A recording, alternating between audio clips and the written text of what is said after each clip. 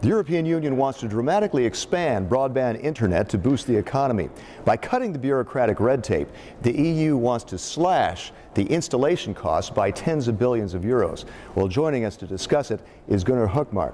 He is the shadow rapporteur of the measure in the European Parliament, and you're a member of the EPP group. Mr. Hökmark, let's talk about the problem first. What's been holding up this internet expansion up to now?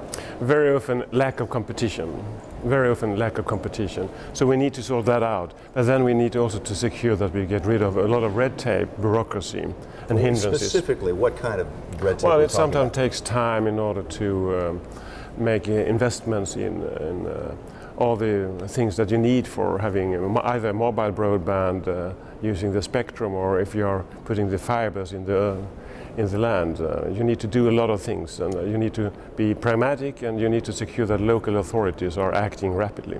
How much is this going to save and how much will it cut costs for consumers and businesses?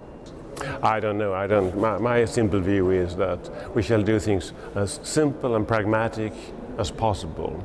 And I think that also lies in the heart of competition. Uh, then we can count in different ways. Commission is calculating that we can save, uh, I think, 60 billion uh, euros. That's very much and maybe a hopeful calculation, but anyway, I don't think that's a problem. We should do it anyway.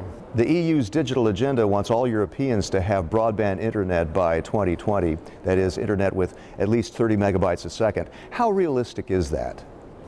Well, it is in some way too realistic. I have said that those targets are out-fashioned. They're old times because that is in the reality in many of our member states already today.